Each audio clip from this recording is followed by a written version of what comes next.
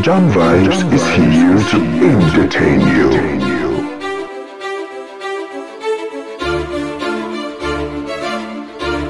Gomora. Stompie caught sleeping close to Sbongile by Teddy and he just couldn't hold himself. He had to scream so loud and to the point whereby a lot of people had to wake up from the house.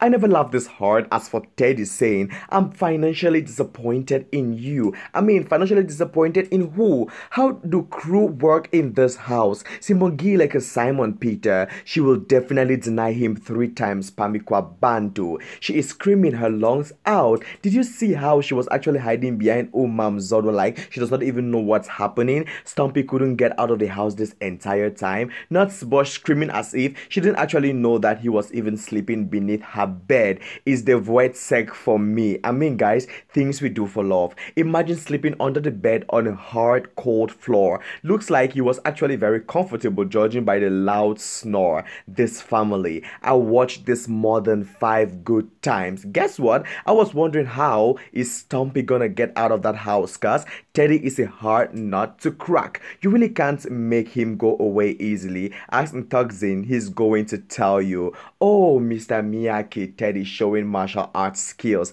So Teddy is a karate master now. I needed this laugh indeed. Very shocking things are about to be revealed on Gomora already. So that guys, I mean, just make sure you watch this video right up to the end so you don't miss on any subsequent information. What says my people? You're welcome to another video session in Jam Vibes. If you are an audio and you're most definitely welcome. I love each and every one of you and I appreciate you all. Hey guys, do the normal routine of liking this video comment after watching the entire video. Subscribe to my youtube channel and above all hit the past notification bell so you don't miss out on our subsequent videos. With that said and done let's get right into it while i give you all more and more shocking revelations i've never laughed like this for a long time. It's the teddy's Vodsec jaw i've watched it like 20 good times. I've laughed my lungs out. Gomora is definitely the best. I mean finally caught the result of sleeping under one's roof. I'm rolling on the floor Stompie overslept. Eyes the script writers never cease to to amaze us. But why Bosch is screamer? Cause I mean, guys, we all know that she knows everything that was happening. I'm financially embarrassed by you. Then comes Zodwa. You will never succeed.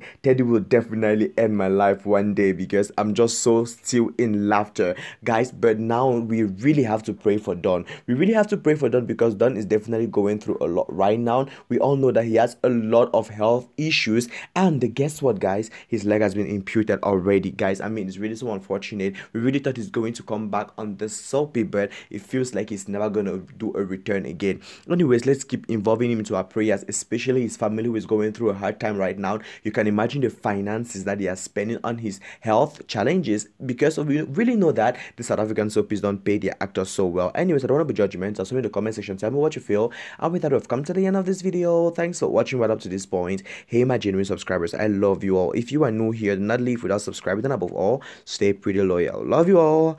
Jump. Bye.